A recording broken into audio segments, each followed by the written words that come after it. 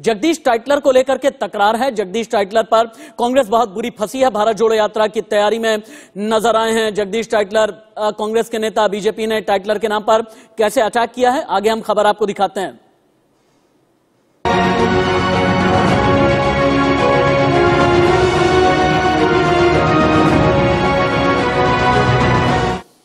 सियासी तलवार खिंची है भारतीय जनता पार्टी और कांग्रेस के बीच में, और वो नाम है जगदीश राइटलर उन्नीस सौ चौरासी सिख विरोधी दंगे में, जिनका नाम आया नानावटी कमीशन की रिपोर्ट में, जिनका नाम आया भारत जोड़ो यात्रा की तैयारी में दिखे जगदीश टाइटलर बीजेपी ने टाइटलर के नाम पर कांग्रेस पर अटैक कर दिया है, और बीजेपी ने कहा, कांग्रेस कहा, दंगाइयों के साथ टाइटलर पर लगे थे सिख विरोधी दंगों के आरोप। बीजेपी ने टाइटलर के नाम पर कांग्रेस पर बहुत बड़ा अटैक कर दिया। बीजेपी ने कहा कि कांग्रेस का हाथ तो हमेशा ही दंगाइयों के साथ में रहता है। एक बार आप भारत जोड़ो यात्रा की तैयारी में जब जगदीश टाइटलर पहुँचे और इंडिया न्यूज़ ने जब किया सवाल तो जवाब क्या दिया अपने बचाव में टाइटलर ने? सुनिए।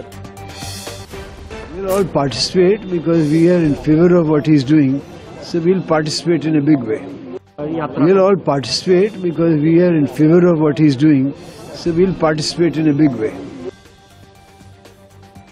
लेकिन भारतीय जनता पार्टी ने बिल्कुल सीधा सवाल किया है। बीजेपी का यह कहना है कि जगदीश टाइटलर को आपने एमसीडी इलेक्शन में चेहरा बना करके आगे किया। वो जो सिख विरोधी दंगों में जिनका नाम शामिल रहा है 1980 से लेकर के अभी तक चार दशक गुजर चुके हैं। चार दशक में जगदीश टाइटलर को पूरी तरह क्लीन चिट नहीं मिली है। तो ऐसे में नेता बीजेपी आरपी सिंह और मनजिंदर सिंह सिरसा कुछ सवाल खड़े कर रहे हैं। सुनिए। भी है, जिसमें ट्रैक्टर बड़ा स्पष्ट कह रहा है कि मैं राजीव गांधी के साथ उन दो रातों को दिल्ली की सड़कों पे घूम रहा था और ये अंदाज़ा लगा रहा था कि किस प्रकार से पूरा कत्लेआम हुआ। मैं आपको याद कराना चाहता हूँ, ये वही जगदीश टाइटर है जिसको डॉक्टर मनमोहन सिंह जी ने अपनी सरकार में से बाहर का रास्ता दिखाया था। जब नानावती कमीशन ने इनको इंडाइट किया था और नानावती कमीशन ने अपनी रिपोर्ट में बताया था कि इन लोगों के खिलाफ सरकार को कार्रवाई करनी चाहिए, इनके खिलाफ मुकदमे दर्ज होने चाहिए। जगदीश टाइटर के खिलाफ अभी भी सीबीआई कोर्ट के अंदर केस चल रहा है। उन्नीस सौ चौरासी में असहनीय दर्द देने वाले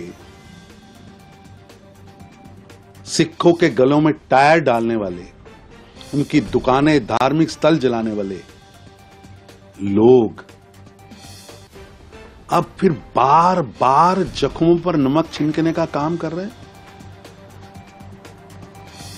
कभी उन्हें कांग्रेस की कमेटी की बैठक में बुलाया जाता है? उनकी वीडियोज़ हैं कि मैंने इतने सरदार मारे, मेरा क्या हो गया? टाइटलर साहब, अभी भी आप पर केस पेंडिंग है, जिसकी सुनवाई रोज एवेन्यू न्यू दिल्ली की अदालत में चल रही है।